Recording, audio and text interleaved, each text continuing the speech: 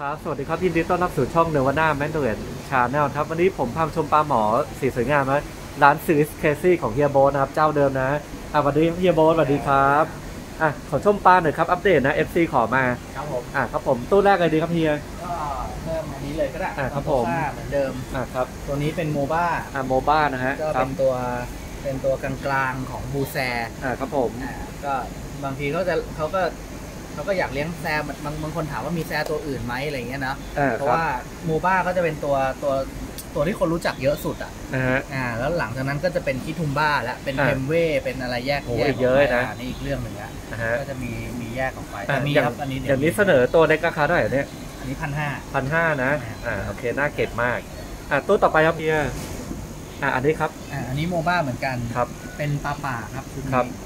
ก็พักในบ้านเราสักประมาณเดือนกว่าๆสองเดือนแล้วครับผมสภาพเริ่มดีแล้วเริ่มอ้วนครีบเริ่มจะเริ่มที่มันสวยนะแตกๆเนี่ยเริ่มดีขึ้นอะไรเงี้ยครับอ๋อแรกเข้าๆใจโดยคสรับภาพเนี่ยเวลาปลาป่ามาใหม่ๆจะค่อนข้างแบบเละพอสมควรอ่าเขากัดกันนะอยู่ตามป่าใช่จะเละผอมอะไรเงี้ยอ่าอันฮะนี้ก็พักแล้วครับเนี่ยระยะระยะหนึ่งก็ช่วยให้อ่าสภาพดีขึ้นอ่าครับผมสวยขึ้นครับอ่านะครับอาจจะไปมุมต่อไปนะครับ มุมนี้ครับเฮียอันนี้ก็จะเป็นกลุ่มแองกานิก้าเหมือนกันอ่าครับผม ก็เป็นอย่างนี้เป็นคาวัตแบล็กอ่าครับ ตัวใหญ่เป็นปลาป่านะฮะนะฮะแล้วก็เป็นเลปโตโฟมาปลาป่าอ่าครับผมแล้วก็มีเลอ่าคอมเพสโกลเด้นเฮดอ่าอ่านี่ฮะสวยนะนี่ก็ได้หเทน้าสก็จะเป็นสีทองอ่าครับผมน่าจะน่าจะสีสวยกับตัวอ่าครับผมอ่าเป็นโกลเด้นเฮดครับโคเดนเทสนะฮะนะฮะมีหลายสายพันธุ์ตู้รวมนะอ่า พวกนี้ก็เลี้ยงรวมกันได้ครับอ่าครับผมได้เป็น mate กันได้ได้ดีเลยอ่าฮะอ่าโอเคครับตู้นี้ครับเฮียโบทนะครับพวกนี้เป็นกลุ่ม goby อ่าก็อยู่ในทะเลสาบแทนกานิก้าเหมือนกันนะอ่าครับผมทะเลสาบเดียวกับ Frontosa นี่แหละอืมแต่ว่าเขาจะอยู่พื้นพื้นพื้นพื้นทรายพื้นอะไรเงี้ยอ่าก็ฮะเหมือนเหมือนคล้ายๆปลาบู่อืมก็เลยเอามาเอามาตั้งชื่อว่ามันเป็นตระกูล goby แนวทรายแนวหินหินๆหน่อยนะอ่าอ่าใช่ครับผม อันนี้ตัวเท่าไหร่ครับเฮียอันนี้ก็ตัวละ900อ่า เขาเขาชื่อตัวนี้ชื่โกอจบี้ริงๆ คืออ่าชื่อชื่อจริงๆเนี่ยชื่อวิทยาศาสตร์เนี่ยคือ Eretmodus Eretmodus อ่าอีเลสโมดัสอ่าแต่ว่าครับผม เอามาเอาคือสามัญที่เรียกกันเนี่ยคือตระกูล gobyอ่าครับผมแนวปลาบู่ไว้กันนะ ใช่จะเป็นคล้ายๆปลาบู่น่ารักดีหน้าตาก็แบบคล้ายๆปลาบู่อะอ่าฮะ อ่าโอเคครับอ่าตู้ต่อไปครับพี่มาตู้นี้ครับ อันนี้เป็นกลุ่มปลาทรายครับ อ่าครับผมในนี้มีทั้งหมด 3 อย่าง ก็จะมีอีแนนทีโอปัสครับอ่าน่าจะยาวๆอย่างนี้ครับผมอีแนนทีโอฮะปัสแล้วก็มีอันนี้ที่อ่าครับน่าจะผมสั้นๆกว่าแบบนี้ครับครับสีกระโดงสวยๆแบบนี้อ่าครับผมอ่าตัวนี้คือซีโนทิลาเปียXenotilapia แต่ Xenotilapia ในในตู้เนี้ยมี 2 แบบก็คือเป็น Xenotilapia ชิตูต้าอ่าครับผเป็นมแหล่งจับแหล่งจับที่ชิตูต้าครับ แล้วก็อีกตัวหนึ่งคือเทมเว่อ่าครับผมอ่าเทมเว่เท มเว่คือกระโดงจะเป็นเนี่ยสีสีสสีวยนะดำๆอ่าครับผมแบบนั้นนะครับครับอันนั้นตัวนั้นเป็นเทมเว่อ่าครับกลุ่มปลาทรายก็จะอยู่ตามพื้นอ่าตู้อะไรอย่างเงี้ย ก็จะ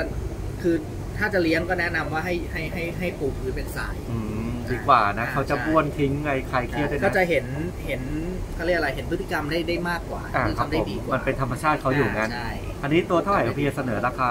ก็พันกว่าบาทจนถึงสองพันกว่าบาท อ่าประมาณนี้นะแล้วแต่ตัวนะแล้วแต่ตัว มาถามเฮียได้นะครับอ่าโอเคครับอาจจะไปตู้ต่อไปนะฮะครับเฮีย อันนี้เป็นกลุ่มเอิร์ธอีเตอร์ละเป็นอ่าครับผม เป็นมาทางย้ายมาทางฝั่งอเมริกาแล้ว อ่าครับก็ตัวนี้ชื่อซิงกุครับ มาจากแม่น้ำซิงกุอ่ามันจะมาทางซิงกุครับผมมันจะมีสองตัว อ่าฮะมีเป็นลาบิดิเฟอร์ ครับกับตัวนี้ ตัวนี้เป็นอะไรฮะ ตัวนี้เป็นซิงกุมันจะแดงกว่าซิงกุเวนะลาอ่าเวโอลาเคโตแล้วสีจะแดงครับผม ตัวนึงจะสีเขียวๆมากอ่าครับผม อันนี้ตัวเท่าไหร่ครับซิงกุอันนี้สามพันห้าสามพันห้านะอ่าโอเคครับ ชื่อเขาเหมือนแม่น้ำเลยนะอ่าอ่าโอเคครับดาวเอิร์ธลิเตอร์อ่าตู้ต่อไปครับเฮียอันนี้เลยก็ได้อ่าครับผมนี่โอ้โหสวยมากฮะอ่าโอเคครับ อันนี้เป็น อันนี้มีสองตัว ฮะ คือตัวนี้เป็น compressive ครัแต่บว่าผมเป็นเขาเรียก compressive mandarin ครับ อ่าก็จะสีจะออกเป็นสีเวลาใหญ่ก็จะสีออกส้มๆอะครับส้มแมนดารินอืนะครับมครับผม แล้วก็ตัวนี้เป็นเลปโตโซมาอ่าครับผม ตัวนี้เป็น Spectre Back Moba ครับ คือบางทีเราอาจจะชินกับคิทุมบ้าครับแต่ตัวนี้สีจะออกคล้ายๆกัน อ่าฮะ สีออกโทนคล้ายๆกันแต่ว่าแหล่งจับคนละแหล่งกันอืม อีกตัวหนึ่งจับได้ที่คิทุมบ้าครับ ตัวนี้จับตรงโมบ้า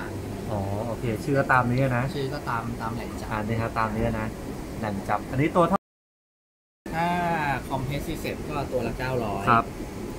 Lepto ตัวละพันสองอ่าโอเค ประมาณนี้นะอะตู้ต่อไปก็พี่อะตู้นี้ครับ ตัวนี้เป็นกลุ่มคล้ายๆกันกับ Leptosoma แต่ครับว่า จริง ๆ แล้วชื่อตระกูลกับชื่อหน้ามันต่างกันเลยนะนะฮะอ่าอันนี้มันเป็น nigripinnis ครับก็อ่าพวกเนี้ยจริง ๆ แล้วจะไม่ค่อยว่ายน้ำเหมือน Leptosoma อืมครับผม อ่า Leptosoma จะว่ายน้ำมากกว่า แต่พวกนี้ชอบไปแปะไปแหมะอยู่ตรงกองหินชอบอย่างเงี้ยอืมคอรับยู่ตามกองหินไม่ได้ไม่ได้เป็นปลาที่ว่ายเป็นฝูงอ่าๆครับแต่ผมว่าถ้าเลปโตโซมาว่ายน้ำอยู่กลางๆน้ำอยู่บนบนน้ำเป็นฝูงๆพวกนี้ไม่ เข้าใจครับอ่าอันนี้แต่ชอบว่าแบบใกล้ๆหิน อ่าอยู่ใกล้ๆหินเนี่ย ชอบไปไปอย่างนั้นนะครับอ๋อตัวหินครับตัผวมในอ่าฮะอ่าเขาจะพลางตัวแล้วก็อยู่อย่างนั้นนอนบนหินเลยนะอ่าใช่ประมาณนี้อ่าอันนี้ตัวเท่าไหร่ครับเสนอราคาครับ อันนี้ก็พันสองพันสองนะครับอ่าสวยเลยตู้ต่อมาครับ ต่อมาตู้นี้ครับเฮียโบทอันนี้ก็เป็น nigripinnis เหมือนกันครับผมแต่ว่าแหล่งเมื่อกี้คือชิคือเป็นคาตาลัมบ้าอ่าครับอ่าอันนี้คือชิตูต้าอ่าชิตูต้านะตามชื่อก็จะต่างเขียวๆเนี่ยนะ ครับผม แล้วก็ตัวนี้เป็นเผือกอ่าครับเป็นโอ้สเผือวกยขนะ องชิตูต้าเป็นดาเมโนของชิตูต้าเลยนะ อ่าโอเคครับ อันนี้ตัวเท่าไหร่บ้างครับ ถ้าเผือกตัวละพันสี่อ่าครับ อันนี้ก็พันสองอ่าโอเคครับ อ่าโอเคครับเฮียสวยนะ อ่าตู้ต่อไปครับเฮียอ่านี่ฮะอ่าอันนี้ก็ได้ อ่าอันครันี้บเป็น Tropheus Tropheus นะครับ Tropheus เป็นปลากินพืชค เพรับ ราะฉะนั้นเวลาเลี้ยงก็อาจจะเลี้ยงรวมกับอย่างอื่นไม่ค่อยได้เท่าไหร่ อ่าครับผมเพราะว่าโดยอาหารที่ต่างกันอืมอ่าครับถ้าเกิดว่าบางคนถามว่า Tropheus เลี้ยงกับ Front ได้ไหมจริงๆแล้วไม่ควร เพราะว่าอืม Front เป็นปลากินเนื้ออ่าเข้าโทใจเฟียคสรับปลากินพืช อ่าครับก็จะต้องแยกกันครับอ่าไม่งั้นก็จะเมเนจเรื่องอาหารลำบาก อ่าถ้าเราให้อาหารเม็ดฟอนอย่างเดียว ก็อาจจะทำให้บางทีเขาได้สารอาหารไม่เพียงพออืครับมครับ ต้องให้อาหารสดฟอนบ้าง แต่สำหรับอ่า โทเฟียสเนี่ย พอได้อาหารสดเข้าไปปุ๊บเนี่ยก็จะเริ่มมีปัญหาเรื่องลำไส้แหละอ๋อเข้าใจอ่าฮะก็จะมีปัญหาเรื่องท้องอืดบางคนเลี้ยงแล้วก็บอกว่าเอ้ยทำไมเลี้ยงยากจังทำไมตายบ่อยอืม ทำไมมีปัญหาบ่อยอะไรเงี้ยก็อาจจะเป็นเพราะว่าเรื่องอาหารที่ที่เราให้ไม่ถูกต้อง ครับ ก็เน้นอาหารสำเร็จรูปที่เป็นผักไปได้ใช่ไหมที่เป็นเม็ดใช่เม็ดที่เขียวที่มีสาหร่ายสไปรูลิน่าผสมเยอะๆหอ่าน่นี้อย จะดีกว่านะใช่ อ่าโอเคครับ อันนี้ตัวเท่าไหร่ครับเพียอันนี้ตัวละพันแปดพันแปดนะฮะอ่าโอเคครับอ่าตู้ต่อไปครับเพียอ่า ต่อมาตู้นี้ครับเพียครับผมก็เป็นกลุ่มเป็นนาซูตัสอ่าครับผมกับคอมเพสครับพวกนี้จริง ๆ แล้วเลี้ยงรวมกันได้ แล้วก็เลี้ยงรวมกับฟอนได้อืมครับผมเลี้ยงรวมกับฟอนได้ดีก็พวกนี้เวลาโตใหญ่ ๆ แล้วอะครับ อย่างนาซูตัสเนี่ยมันจะมีจมูกออกมาอ่าจคมูรักบจมูกแบบสีดำๆไม่รู้จะสังเกตเห็นหรือเปล่า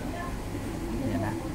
อะไรอย่างนี้ดูตัวนี้อ่าครับผมหน้าเขาก็จะเหมือนกับมีติ่งจมูกแล้วอ่า แต่ว่าเวลาใหญ่กว่านี้เนี่ยมันจะดูยื่นออกมาอ่าครับผมอ่ายื่นออกมากว่านี้ แล้วตัวเป็นสีเหลืองครับครับผมอ่าประมาณนี้นะ อันนี้เสนอราคาเท่าไหร่มากเพียคอมเพสตัวละ 900อ่าครับผมเอ่อส่วนนาซูตัสก็พันกว่าบาทอ่าคอมเพลส900นาซูตัสพันบาทอ่าโอเคครับต่อครับอันนี้เป็นคอนโตซ่าครับอ่าอันนี้คิทุมบ้านะฮะเป็นอย่างที่อย่างที่บอกเมื่อกี้นะอ่าว่ามีมันมีแหล่งอื่นด้วยอ่าครับผมที่ไม่ใช่โมบ้าตัวนี้เป็นคิทุมบ้าอ่าครับผมตัวนี้จริงๆ มันเป็นตัวท็อปของของของกลุ่มฟอนโตซ่าอืมอ่า เป็นตัวหายากสุด อ่าครับผมเป็นตัวเข้มสุด อ่าฮะอ่า ส่วนใหญ่ก็จะบางคนเขาก็อยากเก็บตัวนี้ อ่าแต่ว่าบางคนก็จะไม่ชอบตัวนี้ อืมเพราะว่าต้องลองสังเกตดูว่าตัวนี้มันเข้มมากจนบางบางทีมันตัวบางตัวมันจะแบบไม่เห็นความม่วงเท่าไหร่อ๋อเข้าใจครับอ่าบางคนก็จะไม่ไม่ไม่ค่อยชอบอะอย่างตัวนี้เห็นไหมครับ อ่าครับมืดมาก อ่าครับ อ่ามืดมืดบางคนก็บอกว่าไอ้ยมันมืดเกินไป ก็จะอ่าไปเล่นโมบ้าแต่อ่าว่าก็จะมาเก็บตัวนี้บ้างอ๋อ ให้มันโอครบเในให้คอมัลนเลคครบชันในคอลเลคชันใช่ หรือแต่บางคนถ้าชอบเข้มเข้มๆมาก ๆ เลยก็ต้องตัวนี้แนะนำตัวนี้ใช่ชอบฟ้าไปตัวนู้นใช่ตัวตัวจบตัวสุดอ่าอ่าโอเคครับอันนี้เสนอตัวเท่าไหร่ไซส์นี้ไซส์นี้2,500 2,500นะครับครับอ้วนๆล่ำๆเลยนะอ่าโอเคครับเฮียอะต่อมาตัวนี้ครับ ตัวนี้พี่ใหญ่เลยพี่ใหญ่ของวงการน่าจะใหญ่ที่สุดในกลุ่มปลาหมอแล้ว เพราะว่าโตได้เต็มที่ประมาณเมตรหนึ่งโหประมาณเมตรหนึงเลยนะโหสุดยอด คือชื่อ ที่เราเรียกกันเราก็เรียกว่า Giant t a n g a n i c a เพราะว่าเขามาจากทะเลสาบแทงคาเดก้าอ่าใช่โอเคครับ แล้วก็เสสีก็สวยสีเหลืองๆเวลาอ่าโตตัวใหญ่ๆก็จะเหลืองอ่าหน่อยครับเลยผมเหลืองสวยนะทองเลยโหหายากแปลว่ามีตัวเดียวที่หายากนะตัวนี้หายาก อันนี้เฮียขายเท่าไหร่ครับเนี่ยตัวนี้สามพันห้าสามพันห้านะครับ นี่ตัวโตเต็มที่เป็นเมตรเลยนะอันนี้เท่มาก เท่มาก อะ ต่อมาครับเฮีย อั นนี้ก็เป็นกลุ่มเลปโกโซมาเหมือนกันอย่างครับที่เมื่อกี้เราดูเนี่ย บอกว่าเป็นสเปกเกอร์แบ็กโมบ้านะอ่าครับ อันนี้เป็นคิทุมบ้าสีก็จะคล้ายๆกันอ่าฮะเปลอะเปลอะครับสามารถมีเปลอะเปลอะแบบนี้ได้เหมือนอ่ากันครับผมอ่าก็จะไม่ได้ว่าตายตัวว่าจะเป็นน้ำเงินทั้งตัวเหลืองทั้งตัวอืมบางทีก็จะมีเหลืองกับน้ำเงินปนกันในตัวเดียวอ่าครับผมตอนนี้เป็นเปลือกของของคิทุมบ้าครับสวยมากเลยนะนี่ตัวนี้เห็นไหม ก็จะอ่าปนๆกันก็จะมีเห็นเห็นเหลืองมั่งน้ำเงินมั่งในตัวเดียว ครับผม บางตัวก็น้ำเงินล้วนบางตัวอ่าครับก็ผม เหลืองล้วนเลยก็มีเนี่ยเหลืองเหลืองล้วนเป็นอย่างนี้ อ่าอันนี้เป็นเผือกอันนี้เป็นเผือกสวยนะเปลือกแล้วก็ตัวนี้เป็นคาวัตไว้อ่าครับผม คือปกติเราจะเห็นคาวาที่เป็นสีดำๆเนาะ เออครับ อืม แบบลายม้าลายอ่าแต่ว่าอันนี้มันก็จะเป็นคาวัตไว้สีขาวขาวๆนะ ซึ่งจริงๆต้องขาวกว่านี้นะ ครับ แต่ว่าเขาจะขาวก็แต่อเมื่อในตอนที่เขาผสมพันธุ์อะอืม คือขาวจนไม่เห็นสีดำเลยอ่าครับผมแต่ในเวลาปกติธรรมดาก็จะประมาณนี้เทาอืมครับนะสวยๆนะตัวนี้มีเสนอราคาประมาณยังไงบ้างฮะๆก็ก็พันกว่าบาทพันบาทนะประมาณนี้อ่าโอเคถามตัวอะสมมติผมถามตัวเนี้ยไอตัวใหญ่ๆเนี่ยเท่าไหร่นะคู่เนี้ยอันนั้นตัวละสามพันห้าโหเท่ดีนะ คาวัตไว้เป็นคาวาที่หายากอืมที่สุดแล้วครับในนะตระกูลทั้งขาวทั้งเหลืองเลยนะหายากนะคาวาสไว้อะโอเคครับตัวต่อไปก็เฮียโบ๊ทว่าเหมือนกันนี้แหละอ่าโอเคอะ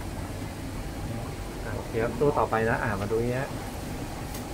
นี่อันนี้ฮะนี่ อันนี้เป็นกลุ่มหมอหอยครับ อ่าครับผม คือเราน่าจะชินกับออกไซตัสโกเนาะครับที่เป็นสีเหลืองๆตัวนี้เป็นออกไซตัสบลูอ่าเป็นบลูนะฮะ สีจะไม่เหลืองแต่ก็ครับ จะออกสีเงินเงินฟ้าฟ้าๆอมฟ้าฟ้าๆหน่อยอะไรอย่างอ่าเงี้ยครับผม ก็ไม่ค่อยได้เห็นตัวนี้นานๆมีเข้ามาดูครับ อย่างนี้ตัวกี่บาทเพียพวกนี้ตัวละสี่ร้อยสี่ร้อยนะนี่ไซส์แบบน่ารักเลยนะสำหรับน่ารักสำหรับคนมีตู้เล็กๆอย่างเงี้ยอ่าตู้ยี่สิบสี่อะไรเงี้ยครับที่จะเลี้ยงพวกนี้เลยอ่าโอเคครับตู้ต่อไปครับ อันนี้นะอะเดี๋ยวเรามาดูตรงนี้ อันนี้ฮะอันนี้ก็เป็นหมอหอยเหมือนกันอ่าครับผมครับเป็น ตัวนี้ชื่อออนาติกฟินิชอ่าครับอ่าจริงๆแล้วบ้านเราก็มีเพาะได้แล้วนะอืมแต่ว่าบางทีก็เอาเอาเข้ามาบางทีเอาเข้ามาเพราะว่าบ้านเรามันเพาะกันนานแล้วเนาะอ่าครับก็ผมต้องเอามาสับสายบ้างเพื่อให้มันไม่เลื่อนไม่ชิดล่าออกมาไม่พิการอ่าครัไม่บอะไรผม แบบเนี้ยครับ ครับอืมโอเคครับอะเดี๋ยวไปมุมต่อไปนะครับ ต่อมาครับเพียอันนี้ฮะอั นนี้เป็นพุงเวนสิตครับ เป็นอ่าครับตระกูลหมอหอยเหมือนกันครับ ตัวนี้ก็ไม่ค่อยได้เห็น เพราะว่าบ้านเรายังไม่ค่อยมีคนเพาะอ่าฮะก็น่ารักดีตาฟ้าๆเลยนะฮะอ่าครับครับครับครับผม ตัวนี้ดูผู้เมียง่ายครับ อ๋อดูไงครับตัวผู้ ตัวมันต่างกันตรงที่กระโดงอ่าครับ อ่ามีจุดกับไม่มีจุดอืม อ่ามีจุดเราเห็นไหมอ่าได้อยู่ครับ ถ้ามีกระโดดไปจุดดำอ่ามีจุดๆสองจุด อ่าใช่อ่านะฮะ อันนั้นคือตัวผู้ อ่า แล้วถ้าไม่มีจุดก็คือไม่ตัวเยไม่มีจุดคือตัวเบสเนี่ยตัวผู้ซ้ายมือเนี่ยอ่าเนี่ยฮะซ้ายมือเนี่ยนะฮะตัวผู้อ่าโอเคครับน่ารักครับตัวเท่าไหร่ครับเพียสี่ร้อยสี่ร้อยอ่าโอเคครับอะต่อมาอีกตัวหนึ่งครับเพียนี่อันนี้เป็นมาลาวีละมาวีครับปากยาวน้ำเงินป่ะเนี่ย อ่าตัวนี้ปากยาวน้ำเงินแต่ว่าเป็นปากยาวน้ำเงินอ่าฮะ สังเกตนะครับมันจะต้องบางมากครับๆ ตัวนี้บางเชียบเลย อืมแล้วก็หน้ายืดออกมาเยอะๆ แล้วก็มีติ่งใต้คางหนึ่งหนึ่งเม็ดอ่าตัวเท่าไหร่ครับเพียอันนี้ ตัวนี้แปดร้อยห้าสิบแปดร้อยห้าสิบนะปลาคัดเกรดเลยเนี่ย อ่าโอเคครับ มีติ่งใต้คางด้วยอ่าประมาณนี้นะครับไอ้ตัวต่อไปที่เฮียโบ๊ทจะเสนอนะโหสวยมาก ตัวนี้เป็นทูบาครับ ทูบาร์นะฮะ อะเดี๋ยวเราไปดูตัวจริงนะอะตัวจริงตู้นี้เลยนะเฮีย อันนี้ยังเล็กอยู่สีก็อาจจะยังไม่ขึ้ นมากนะฮะโอเคครับเฮียนี่ ตัวนี้หายากไม่ค่อยไม่ค่อยมีเข้ามาในบ้านเราอืมเท่าไหครับผม แล้วก็เวลาสั่งก็ก็ไม่ไม่ค่อยมีอะไม่ค่อยมีให้สั่งอืมไม่ค่อยมีเลยนะใช่ท่านท่านเซฟอยากได้แบบเมื่อกี้อยากได้โอ้โหแต่ว่าไม่มีทีนี่ตัวเท่าไหร่ครับเนี่ยอันนี้สามพันห้าสามพันห้านะเขาเป็นอเมริกากลางใช่ไหมในอากาศสวยสุดตอนฮีทเออสวยมากเวลาฮีทนี่ยังเด็กอยู่ นี่ยังเด็กอยู่ตัวต่อไปครับเฮีย อันนี้เหมือนกันสองตู้เลยเฮียใช่มีมีมีสามมีตู้สามไหมนะนี่ไอ้ตู้หนึ่งนี่อันโอเคครับ สนใจมาสอบถามมาเลือกได้เลยนะอะตู้ต่อไปครับเฮียอ่าโอเคครับ สวยนี่ฮะ อ่า นี่ครับ อันนี้นะครับ นี่ก็เป็นเลปโตโซมาอีกแหล่งหนึ่งอ่าอันแล้นี้วก็ก็เรียกเข้าไตมาคัอีลกเลแล้วอร์ไตคัลเลอร์สามสี สามสีเออครับผมก็มีเหลืองมีดำมีครับ น้ำตาลอืมสวยมากนะ สวยมาก ตัวนี้เป็นจัมโบ้ก็จะใหญ่ใหญ่หน่อย อ่าจะใหญ่อ่าฮะก็คิดจริงๆ Kitumba กับ Speckleback ก็เป็นจัมโบ้นะอ๋อก็จะใหญ่อ่าแต่ว่าตัวที่เป็นธรรมดาเนี่ยก็อ่าฮะ ก็จะมีตัวนู้นที่เป็น Utintaอ๋อ อย่างนี้เต็มที่ได้กี่นิ้วอะเฮียประมาณ 6 นิ้วหกนิ้วเลยนะ โอ้ใหญ่อยู่นะ อันนี้เพิ่งสามนิ้วเองมั้งเนี่ยสามฮะนิ้วสามนิ้วห้าได้เยอะเลย ราคาเท่าไหร่เฮียสวยดีพันสองพันสองนะ อะ โอเคครับ อะ ตู้ต่อไปครับเฮียอะเดี๋ยวดูตามเฮียโบ๊ทไปนะครับต่อ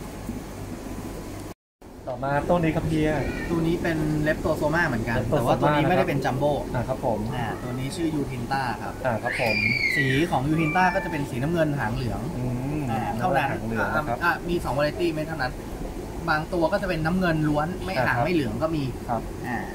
แต่ตัวน้ำเงินหางไม่เหลืองก็จะหาหาหายากกว่าอะฮะส่วนใหญ่ก็จะเป็นหางเหลืองมากกว่าอะครับผมแต่ว่ามีแหละ เวลาเราเพาะออกมาได้ลูกออกมาก็จะมีหางน้ำเงินปนออกมาด้วยแหละอะครับผม อ่าอันนี้ตัวเท่าไหร่ครับเนี่ยพวกนี้ 350 สามร้อยห้าสิบนะครับอะประมาณนี้นะครับอะตู้ต่อไปครับเฮียก็ต่อมาครับเฮียตู้นี้ฮะอันนี้เป็นเซาท์อเมริกาอะอเมริกาใต้นะครับรวมๆกันใช่รวมๆกันก็อ่าจะครับมีผมทาปาโจดเผือกเฮคารี่เผือกอ่านี่ฮะทำโจ๊กเผือกโจดเผือกอ่าเนี่ยอันนี้ตัวนี้ตัวนี้เพกเคลอยู่ด้านล่างนี่เอออันนี้อ่าโอเคครับ แล้วก็มีมิลาบิลิสอ่าครับผมครับ อืมแล้วอย่างก็ครับทำโจ๊กเผือกนี่ตัวเท่าไหร่ฮะก็พันกว่าบาทครัพันกว่าบาทนะฮะพักว่าบาทตอนครับนี้ราคาลงแล้วเพราะว่าเริ่มทำได้แล้วอ๋ออัอันนี้เฮคารี่ธรรมดานี่ธรรมดาธรรนะมดาไม่เผือกอันนี้ไม่เผือกอ่านี่เผือกนะฮะทำโจ๊กพันกว่าบาทนะฮะสวยอ่าแล้วก็มีบาลซานี่อยู่ข้างหลังๆอืมครับผมบอสซานี่นะฮะอันนั้นตัวเมียตัวผู้อยู่เนี่ยอ่าครับผมนี่นี่นี่หัวนี่จะปูตัวปูปูนี่อ่านี่โหคือม้าตัวตัวโตเนี่ยอ่าเห็นไหม ว่ายเป็นคู่เลยนะฮะบอสซานี่หัวโหนกโหเนี่ยฮะเพียเยอะมากเทคโนโลยีก็สวยเทคโนโลยีเผือกเท่าไหร่อะเพียถ้าไซส์อย่างนี้ก็พันกว่าบาทพันบาทนะฮะอ่าโอเคครับเซด้วยไหมครับเซด้วยไหมอะเซเซนี่เป็นอะไรฮะเป็นเทอร์ควอยส์เธอคอยฟ้าฟ้าๆเลยนะฮะturquoise อะสวยมาก ตัวนี้ก็ยังไม่เคยเข้ามาบ้านเราครับเพิ่งเข้ามาเนี่ยอะครับผมใช่จริง ๆ ยังยังระบุแหล่งไม่ค่อยแน่ชัดเลยอืมว่ามันเป็นมันเป็นแหล่งจับไหนกันแน่อะเข้าใจครับแต่เป็นเซฟ้าแล้วกันนะมีราคาหรือยังครับเอ่อจริง ๆ ก็มีแล้วก็ตัวหนึ่งประมาณพันกว่าบาทแบ่งกันไปโหปะหน้าเก็บไหมเนี่ยดูพัดินไปดูหน้าดิดูหน้าดิเนี่ยเห็นไหมเวลาสีสวยๆน่าจะแบบตัวนู้นเนาะอะครับขึ้นเนี่ยหน้าขึ้นอ๋อเนี่ยขึ้นลายอย่างเงี้ยอ่าสวยมากเลยโอ้ นะฮะสำหรับคนรักปลาเก็บปลาเป็นคอลเลกชันเนี่ยเดี๋ยวท่านเซฟมองกันเนี่ยท่านเซฟมองแล้วอะตู้ต่อไปครับเฮียเฮียโบ๊ทโอ้โหแดงปัดเลยฮะตัวเนี้ยอันนี้เป็นมาลาวีแดง มาลาวีแดงนะฮะโอ้โหเรียกว่าอะไรแดงเหมือนแดงโอ้โหแดงจริงนะอ่าชุดนี้แดงมากโอ้โหตัวเท่าไหร่ครับเนี่ย เกรดเอเลยเนี่ยแปดร้อยห้าสิบแปดร้อยห้าสิบนะโหแดงแป๊ดแดงแป๊ดแบบนีออนอะต่อมาตัวเนี้ยเฮียตัวนี้เป็น Sulfur Head Sulfur Head อาไมโน อะครับผมเป็นเผือกด้วยนะ เผือก Sulfur Head ตัวเท่าไหร่ครับเฮียตัวนี้ก็ราคาเท่ากันเท่ากันนะครับ อะโอเคครับ อะต่อมาตัวนี้เฮียเผือกเลยครับ Blue Dolphin เผือกป่ะฮะ อ่าโอเคฮะ กี่บาทครับพี่อันนี้อันนั้นพันสองพันสองนะครับ อ่าโอเคครับประมาณนี้นะครับนี่ครับนี่ตัวนั้นเป็น Lwanda ครับโห Lwanda อ๋อ เป็นลาวันด้านี่ไงเผือกสวย ท่านท่านซื้อมี Lwanda ไหมเหรอแต่ ผมเป็นไม่ไม่เผือกเออของท่านไม่เปิดเป็น short body ฮะที่ได้จากร้านเฮียเนี่ยจำได้เป็นเกียร์บนเออสายพันธุ์เดียวกัน สวยนะเท่าไหร่ครับพี่เฮียสวยดิตัวนี้เพิ่งจะเพาะขึ้นมากันได้สักปีหนึ่งนี่เองครับโอ้เป็นเป็นเผือกด้วยตาแดงเลยหนะ ลุดออกมาจากตัวธรรมดา ทรงเขาสวยแล้วเขาเหสมืวอยนมีสโหวยนกสวยนิดนึงด้วยนะตัวนี้ใช่ฮะ มีโหนกเบาพวกนี้เป็นบัตเตอร์ไฟฟิน เวลาโตแล้วเครื่องจะใหญ่ โอ้เนี่ยดูมันจะใหญ่ดูเปียหลังดินะฮะ ดูตะเกียบล่างนะฮะ อันนี้ตัวเท่าไหร่ครับเนี่ยตัวนี้สองพันห้าสองพันห้านะ โอ้โห สวยมาก โอเคครับ เดี๋ยวไปมุมต่อไปครับอะสุดท้ายนี้ขอบคุณเฮียโบทนะครับ ขอบคุณครับเฮีย สวัสดีครับนะครับอะเดี๋ยวเดี๋ยวผมขึ้นเพจติดต่อนะฮะช่องทางการติดต่อให้นะครับได้เลยคอ่ารับ โอเคครับอ่าขอบคุณมากครับเจ้าของร้านนะครับน่ารักเช่นเดิมนะครับอ่าฝากกดไลค์กดซับกดแชร์เหมือนเดิมครับบ๊ายบายครับ